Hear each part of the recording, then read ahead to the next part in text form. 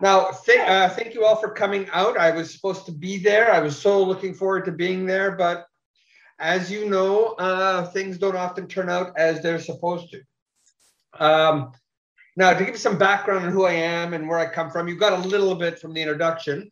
My name is Drew Hayden Taylor, and I'm from a small Anishinaabe slash Ojibwe reserve called Curve Lake First Nation, uh, about two hours northeast of Toronto, um, in the heart of an area known as the Kawarthas. Uh, uh, when I was growing up, it was a fairly small reserve, eight, 900 people. It's about 12, 1300 now. And I think I'm going to be talking about my exploration of the Indigenous funny bone, Indigenous humor, how I've, uh, how, how it's affected me, um, and how I've sort of decided to take it, celebrate it, and um, and basically hold it up for everybody to appreciate. Now, in order to understand that, you have to understand a little bit about my, path into this world. I'm one of those rare breeds of animals you will come across occasionally called a uh, called a um, professional writer. That is to say, I do not have a day job. I do not spend my afternoons saying, "Would you like fries with that?" Um, as a professional writer, that means I work in many different fields. Um, I'm a playwright. I'm a novelist. I do documentaries. I write short stories. I write television shows. I did a graphic novel, uh, et cetera, et cetera, et cetera. Now, the thing to take away from that is the fact that with all, uh, as a professional writer, more importantly, I think of myself as a contemporary storyteller. As a contemporary story, that is to say, in today's society, there's so many different ways of telling stories. It used to be the vast, the, the, the, the, the predominant way of telling a story was oral. You sat around a fire and later on around a kitchen table with a couple of mugs of tea and you told stories. Some of them true, most of them funny. Um, and as time passed and cultures evolved, the methods of storytelling changed. They went from oral storytelling and then they went into print. And then there was theater, there was radio, there was television, there was movies. And it's gotten to the point today where there's so many different ways of telling stories. Even video games today have intricate and um, deep background stories uh, for all the characters to help play the game a bit more. So when I say I'm a contemporary storyteller, I work in all these different environments because I, I just love telling a good story. And there's so many ways to tell good stories. And I'm very, very interested in exploring as much of them as I can. Um, but on, on to the topic of humor, I don't think, I think I should say, my exploration of humor began as a child, as with most people. I grew up on the reserve, um, surrounded by family. I guess you should know um, at the same time, I come from both a big family and a small family. I come from a big family because my mother was the oldest of 14, which, as I've been told, used to happen before they had the internet. And uh, so with marriages and stuff like that, I had about I had about 20, 22 aunts and uncles and about the same number of first cousins. So we were a very big extended family. Um, but at the same time, I come from a small family. I'm a single child of a single parent. And my mother blames that on the fact that when I was born, I was 11 pounds, 13 ounces. Um, breech, no cesarean. So evidently that was enough for my mother. I like to think I gave my mother both quantity and quality. so that's the environment I grew up in. I, I was just me and my mother, but you step outside the door of our house, there is a huge extended family. And I was very fortunate to have grown up right across from my grandparents. Um, and during the summer, from I guess uh, early June to early October, it would not be uncommon for my for there to be bonfires in front of my grandparents, a huge fire pit, and I would have aunts, uncles, cousins, family friends come over there, sit, and while away the hours telling funny stories. I grew up listening to funny stories because where I where I grew up on the reserve, you know, when, when I was young, uh, I like to I tell people I'm I'm a, I'm a thousand years old. When I was young, we had two television stations, and for all the young people here who don't understand my next phrase, ask one of the older people in the audience around you to explain this term. But the two television stations we had were very snowy so we could watch it. Only only when the weather was was was all the wind was blowing in one direction or however however those things work. So for entertainment we would sit around and we would tell funny stories. So i would sit there and i would listen to my family telling funny stories and it was absolutely fabulous. It was fun.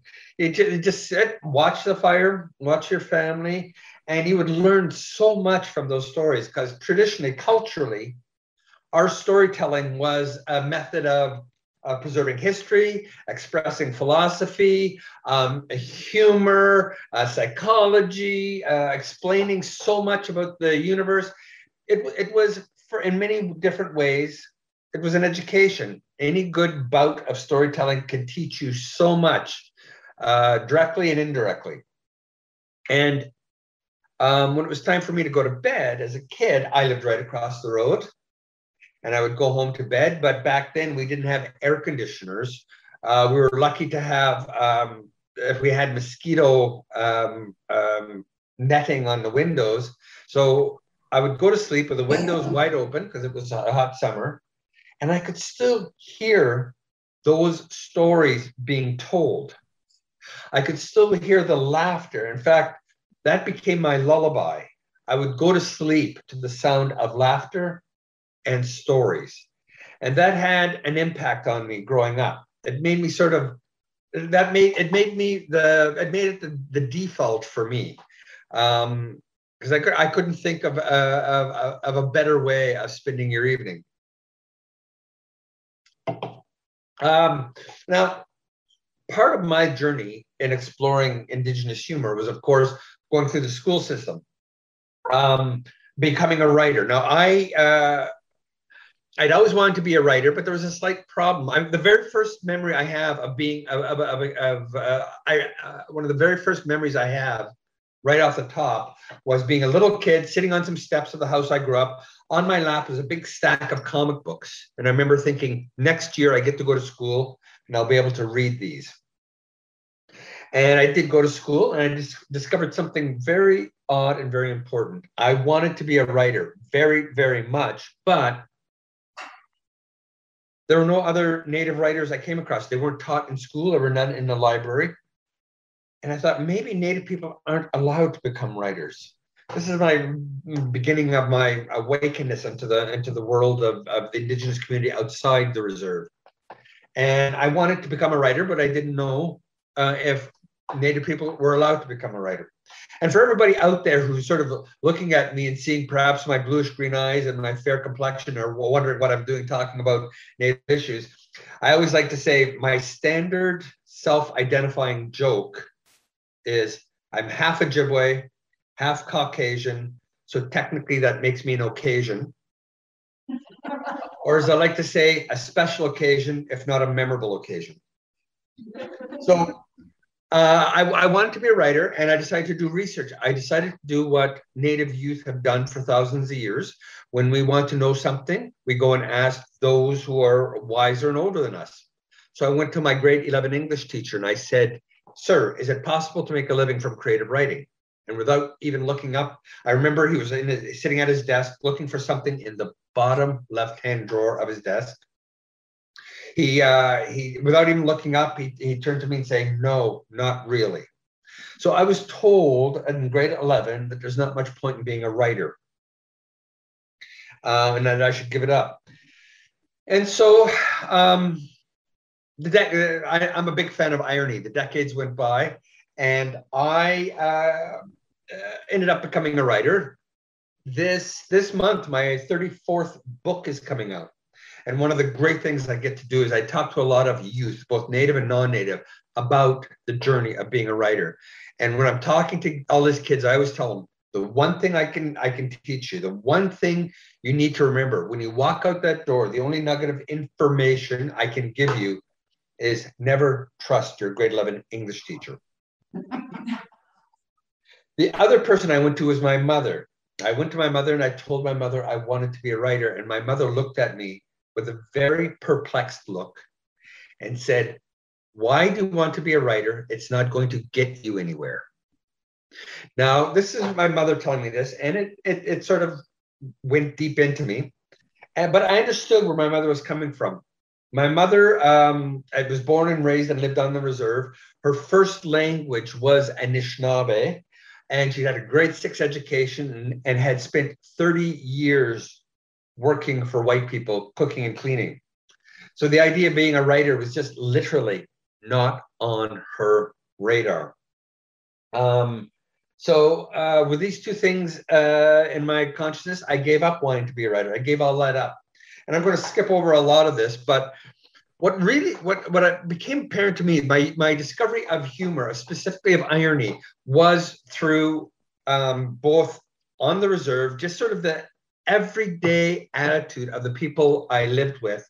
And then when i left the reserve to go into the city to make my fortune the perspective native or non-native people had of native people. It was so bizarre. My college roommate when we met asked upon immediately upon uh, upon meeting me what kind of horse I like to ride.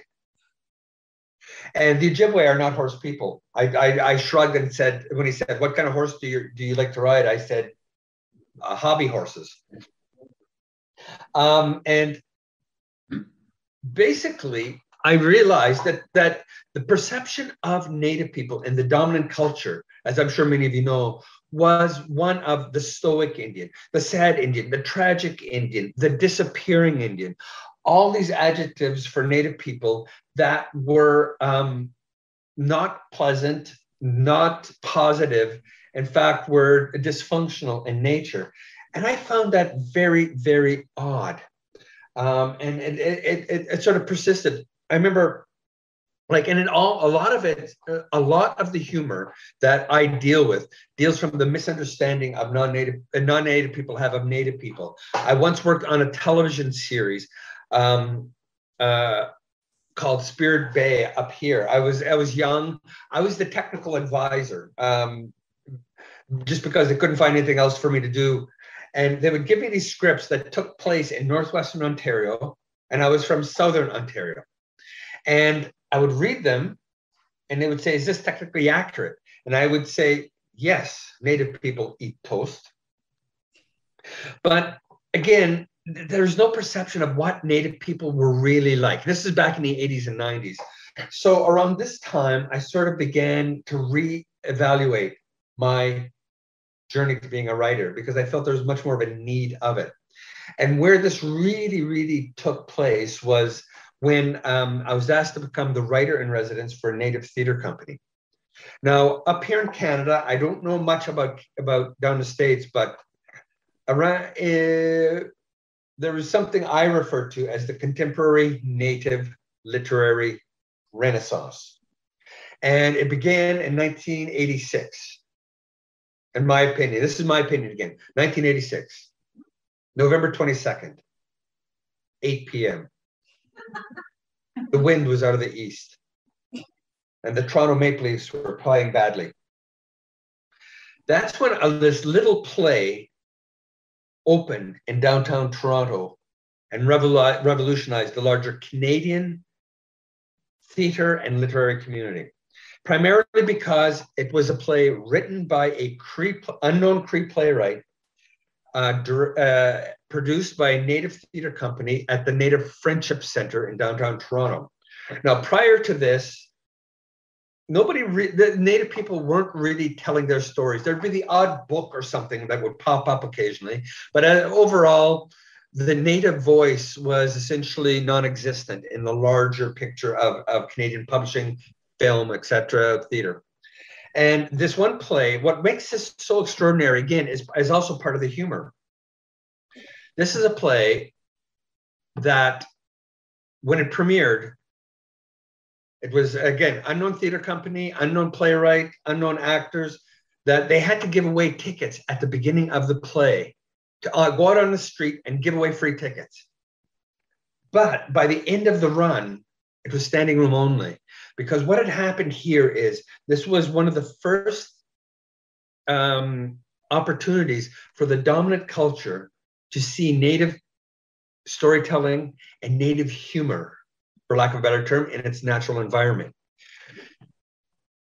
The plot of the play is essentially um, seven native women up on Manitoulin Island, which is a large island in Lake Huron, who want to drive seven hours down to Toronto in a van, in a van to play at the world's largest bingo game.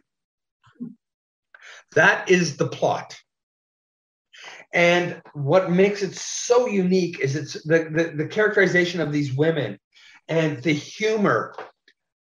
Toronto and Canada were not ready for this. They had not, we're not, we're not, were ready for this. I'm sorry, I'm wrong. They were ready for this. The perception of Native people, the alcoholic Indian, etc., was still strong then. And I think they were not ready, or they were very ready for this new perspective of Native people.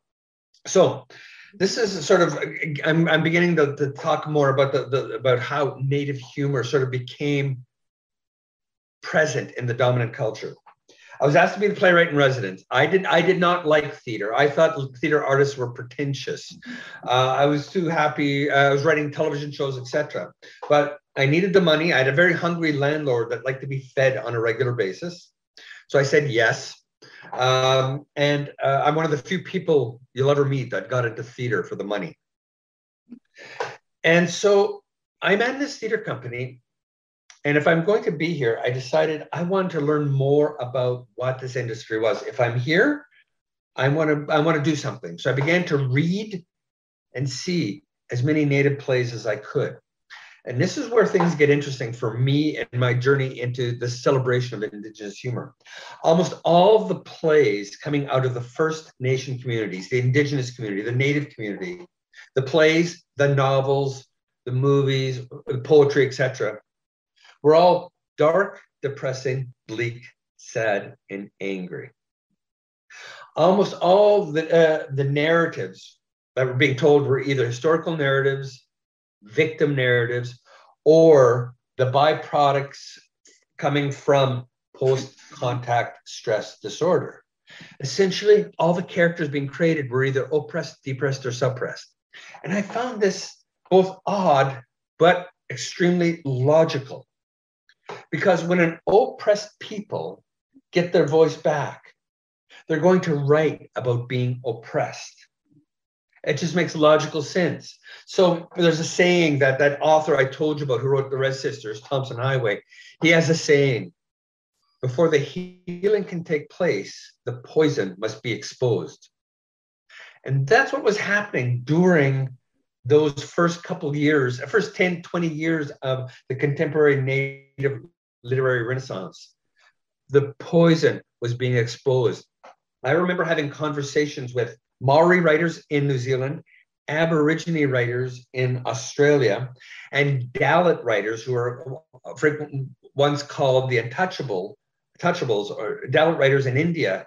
And it became, we talked about this, and basically, you know, when you have been at the bottom of the social hierarchy of any given society, and you're finally given a chance to tell your story, chances are it won't be a comedy. So that's what was happening during the late 80s and the 90s. Basically, all these stories were coming out of the First Nations community, and they dealt with the more dysfunctional aspect of the First Nation community. Um, uh, the, the, abuse, you know, up here we have residential schools, we had um, uh, the scoop up having to do with adoption all these horrible side effects of colonization. And um, uh, all, and native writers, they basically said, you know, um, it's kind of sucks being colonized. And this is why. And they would write these plays, these novels about the, how being colonized sucked. And that was all fine and dandy. And unfortunately, you know, as I said, that was that was almost the constant diet of indigenous literary storytelling. All these stories, these dysfunctional stories, And it almost got to be a, a horrible, horrible cliche. Um, you know, I remember talking with two different women coming out of two different plays in two different cities. I asked them the same question and I got the same answer. I said, What did you think of the play? And they both said, I don't think I'm going to go see any more Native plays. I'm tired of being depressed. So this was my uh, introduction to the theater and the, the literary world. You know, basically, in order to be a Native writer, you had to write sad, tragic stories. But that wasn't what interested me. I've been very fortunate to have traveled to over 143, no, sorry, 140, 150 First Nation Indigenous reserves and reservations across Canada and the States. And everywhere I've been, I've been greeted with a laugh, a smile, and a joke. And I wasn't seeing this in the theater. I would look at my mother, who you heard me mention, but um, and my mother was a very vivacious woman with a great sense of humor, and my mother certainly was not oppressed, depressed, or suppressed.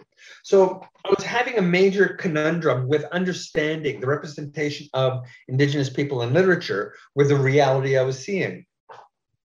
And as luck would have it, I happened to bump into and uh, spend time with an elder on the Blood Reserve in Alberta.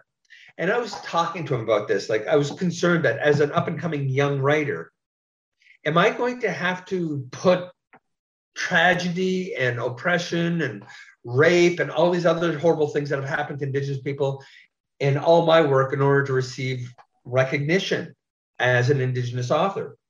And he stopped and he thought for a moment and he said, he, he gave me a phrase that has basically been instrumental in my development as a writer.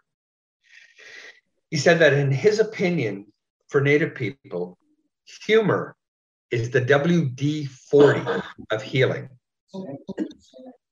And I thought about that, and I really like that. Humor, I assume they have WD 40 in America.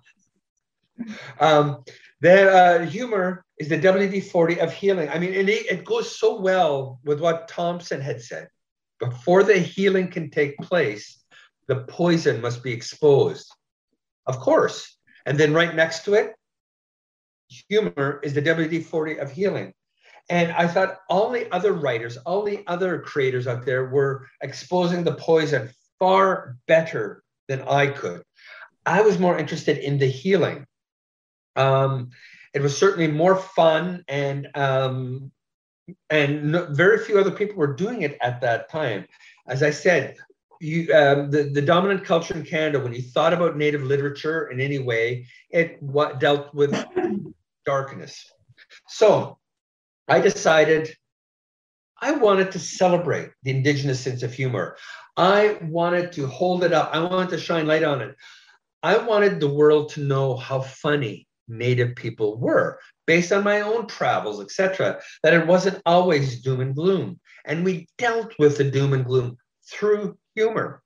So um, I, I, I would write a bunch of articles and essays about various aspects of Native culture for newspapers. And I decided to write a comedy, an, a full fledged native play that just celebrated the indigenous sense of humor um, with absolutely no social redeeming qualities whatsoever. That was my original intention, but I discovered that um, when you do an indigenous comedy, it's not uh, no uh, the fact that I'm doing comedy from the indigenous perspective uh, is a perspective is a socially relevant comment within itself. Anyways, I write four types of plays: theater for young audiences, dramas that deal that have a lot of humor in it because that is how we deal with drama in the native community. Again, I'm speaking about my native community and travel places I've been to. I write um, full-fledged comedies, and I write what I call intellectual satires that deal with a certain aspect of indigenous culture and i explore it and i just wrap it in, in parody and satire etc now when i talk about drama and, and the sort of the humor from the indigenous community that that it's like the two sides of the, the the the greek mass you've got the comedy and you've got the tragedy and i never see that more obvious than in our community. And I'll give you an example. About uh, about ten years ago, my mother passed away, and um, we were going to meet with the funeral director about her funeral.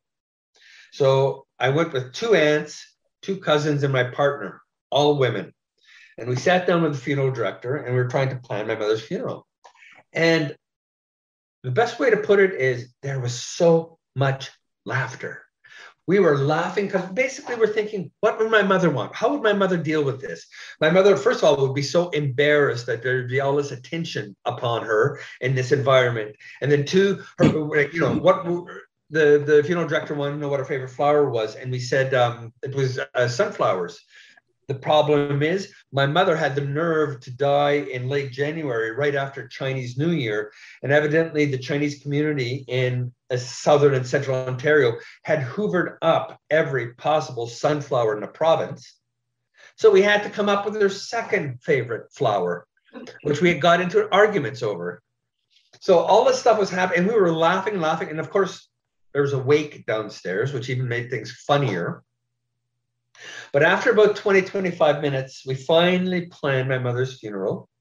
After, after much consideration and laughter, and I stood up, and the funeral director stood up, leaned over, shook my hand, and said, and I'm quoting him verbatim, Thank you. I don't get to say this very much, but that was fun.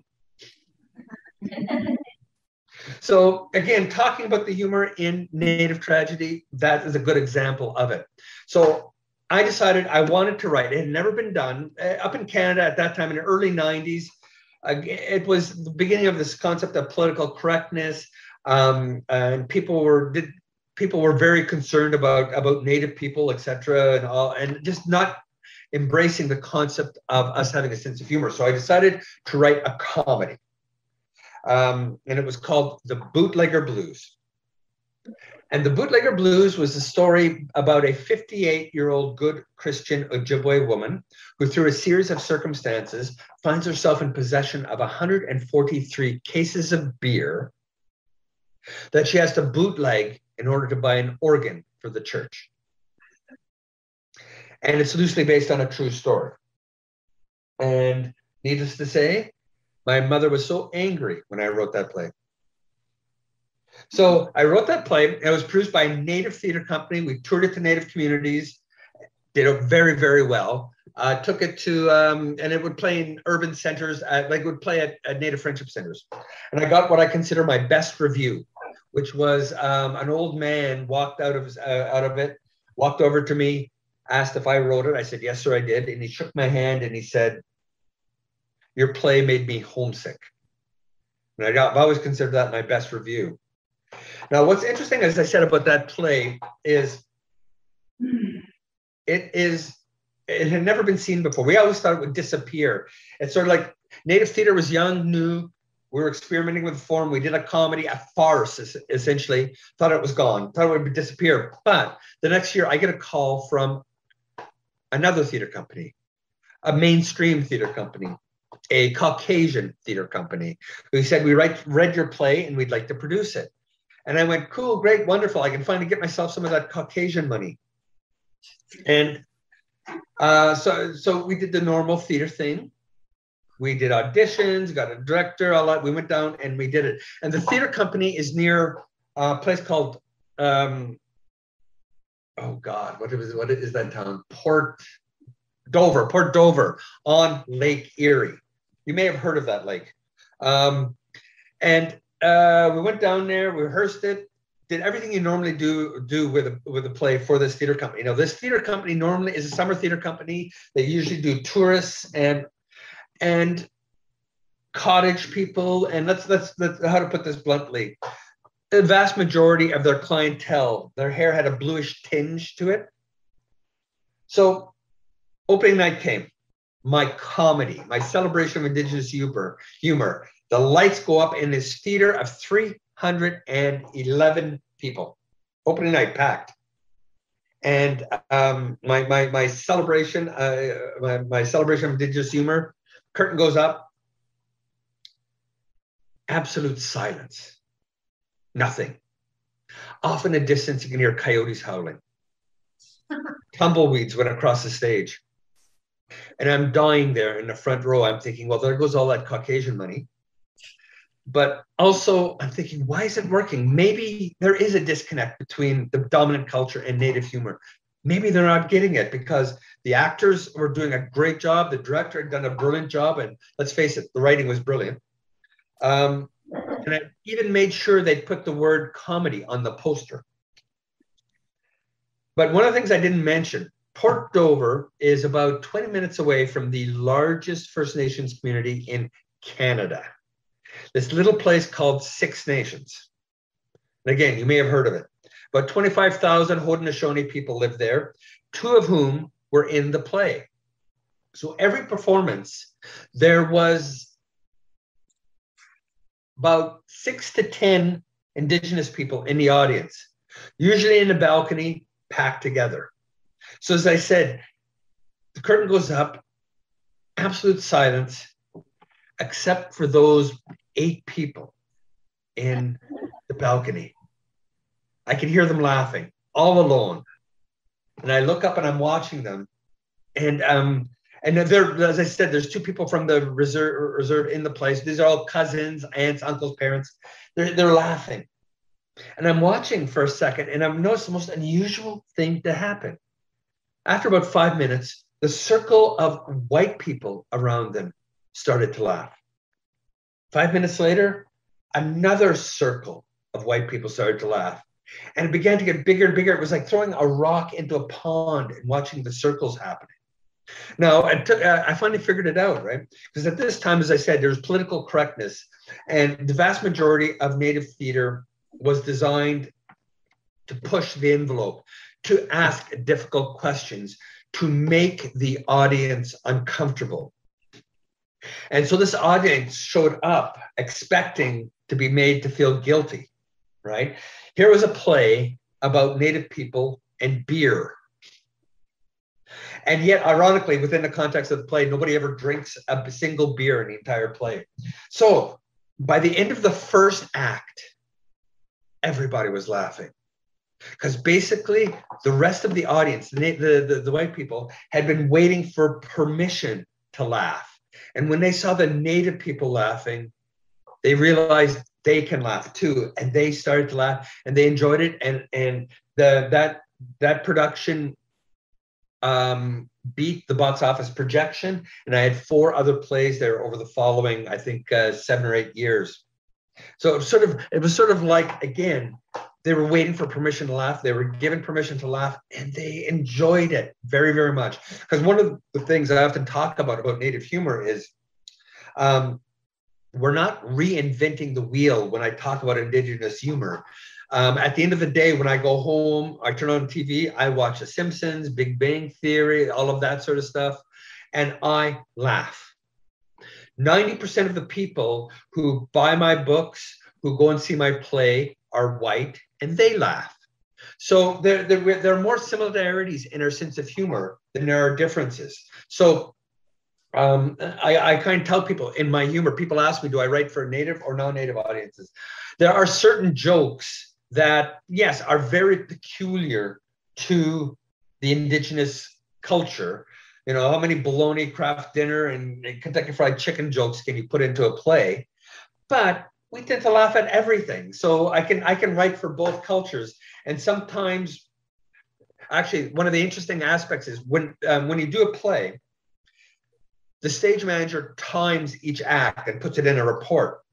And when there's a play and the audience is half to two thirds native, the, the, the running time of each act, usually about 42 to 44 minutes, is usually about five to six minutes longer just from sheer laughter because they get all the subtle nuances. So, anyways, I'm getting, I'm, I'm going off topic here.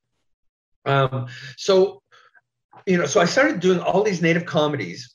And then based upon that, I decided I want to explore the concept of humor more intensely. I've been writing humor, but I, I have been writing a lot of humor, but I wanted to know more about humor. So I had these two opportunities. I ended up directing a documentary for the National Film Board of Canada, exploring and deconstructing Indigenous humor. And it was called Redskins, Tricksters, and Puppy Stew. I also ended up, based on the success of that, I ended up editing and compiling a book, again, that explores and deconstructs Indigenous humor through a series of essays called Me Funny. And what I did with Me Funny is I contacted a whole bunch of people in the Indigenous community who, in one way or another, earned their living through Indigenous humor. So I had articles from stand up comedians, I had articles from novelists, I had articles from actors, I had articles from, or essays from different people who work in the Indigenous humor field. And we talked about it for, for the, the length of the book. And not only that, I spent a year collecting what I refer to as Indian jokes. Um, I, I, would use them to uh, break up the chapters. And it was very, very fun to do that because so I got Indian jokes from all over the world. And some of them, a lot of them in this day and age, I did that book about, I would say 12, 14 years ago, are very politically incorrect in this day and age. Because that's one of the interesting things about Indigenous humor. Indigenous humor is a form of survival humor. I did a. have uh, been to two conferences on multicultural humor. I was in one in India, and I followed a woman who was from the University of Tel Aviv, who did a presentation on humor and the Holocaust. And I listened to what she did, what she talked about, and I thought it's very similar for Native people. A lot of our humor is filtered through the tragedy of colonization. And the, the byproduct of humor, of Indigenous humor, is it's a reaction to and a protection from um, the barbs of civilization. So as a result, a lot of our humor can be very politically incorrect, right? Um, I, uh, I was almost going to tell you one or two, but I better not. I don't want to. I don't want to get a call from the the Iroquois Museum's uh, Human Resources Department but I'll give you an example. Uh, here are some of the interesting things about Indigenous humor, too. I found there there's a bunch of different varieties of it. One of them is there's a type of humor, and this is a type of cultural humor um, that you know. Um, how can I put this? That's when somebody from a from a from a particular nation is is telling a joke. The, the, the, I find that either one, sometimes you don't know they've made a joke until they start laughing themselves, or two, they tell a joke and it's so in your face that you don't know whether to laugh or punch them in the face. Um, but what's, what's what's sort of interesting is a lot of the these Indian jokes that have come out. They're either you can they have the dna you you can deconstruct the dna of the joke. And from the joke you can either tell that this is a joke written by native people for native people or this is a joke that has been acculturized. It has been culturally appropriated from other people um, in, into into their world. I'll give you an example of one. Um, this is what i think a native joke is written by native people for native people. Why do native people hate snow because it's white and all over the land. But um, um, here's a here's a here's one of my favorite jokes that sort of I think has been a, a culturally appropriated um, uh, and indigenized, for lack of a better term. And this is this is, and I have to keep stressing again to HR there. I didn't write these; these were submitted to me for the book. But here's here's one of my favorite jokes. These two Native women are getting to know each other. And one woman is absolutely shocked and surprised to discover that she has 10 children that she's all named Lloyd. And the other woman can't understand this. She says, Why did you name all your kids Lloyd? Don't you find that confusing? And then the mother goes, Oh, no, not at all. In fact, if anything, I find it to be a great time saver. First thing in the morning, all you have to do is yell, Lloyd, time to get up. Lloyd, breakfast is ready. Lloyd, time for school they'll hear and they'll know what they have to do. But the other woman isn't convinced. She says, But what do you do if you have to talk to just one of your children, like the second youngest or the oldest? What do you do then? And the mother goes, Oh, well, if I have to talk to just one of my kids in particular, I call them by their last name.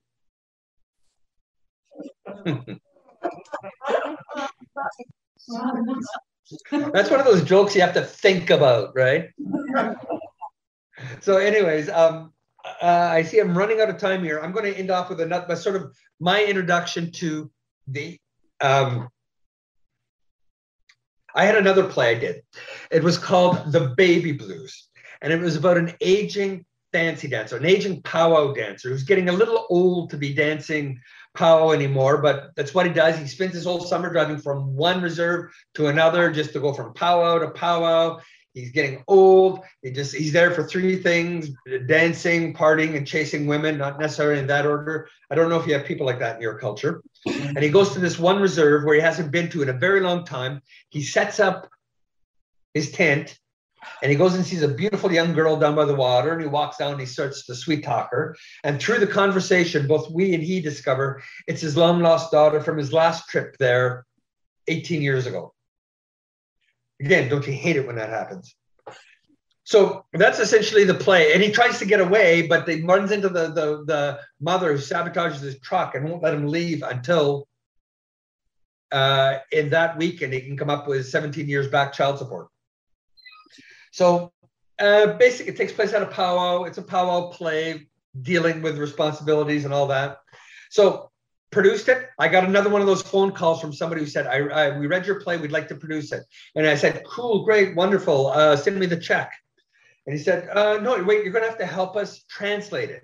And I said, translate it? Where are you calling from? And they said, oh, sorry. Uh, we're calling from the University of Venice, Italy. And I said, Venice, that's a place with water for streets, right? And they said, yes. And I said, okay. Um, and I'm thinking about the play, right? It's about an aging Lothario who's just there to party, chase women, nothing else. He's there for a good time, not a long time. Um, basically has nothing to tie him down and just well, just chasing women. And I said, why do you want to produce this play? And he said, I think it's something Italians can relate to. So I said, okay, fine. We translated into Italian. It was produced, and I didn't get the chance to see it. I didn't get to Venice for a couple months later, but um, they sent me this thing. You may remember this from your ancient history class. They sent me a video cassette of the production. And I turned it on and I watched it. It was one of the most surreal things I've ever seen. So you have to imagine this, right? It's a powwow play being produced in a Venetian University of Venice, Italy. And I don't know if there's any Italians there. I think I'm pronouncing it right. In a teatro, an Italian theater. So it's all um, all the set designs of the powwow are designed by Italian set designers who've never been to North America, let alone a powwow. All the powwow costumes are designed by Italian costume designers who had never been to North America or a powwow. And all the actors who are Italian had never been to a First Nations community in North America or whatever are running back and forth across the stage, speaking Italian, going, Il powwow. One of the most surreal things of my life. Um, and of course, this is all part of a larger thing I've sort of explored humor wise. My fourth my fourth uh, comedy was called the Berlin Blues about a German business conglomerate that comes to a small central Ontario First Nations community wanting to build the world's largest native theme park called Ojibwe World, which has um, things like bumper canoes and uh, medicine Ferris wheel and a 44 meter high dream catcher with interlacing laser beam webbing that keeps killing all the birds. And the big draw is a production of Dances with Wolves, the musical. And the reason the reason I did that is Germans are bizarrely fond of North American Aboriginal people, but North American Aboriginal people from the 1880s, they still think we hunt buffalo and everybody lives in teepees. I went to a German powwow. Um, it's just absolutely. In 1936, Adolf Hitler made North American Aboriginal people honorary Aryans. Think about that for a moment. I'll leave, I'll leave you with that as I think my time is up.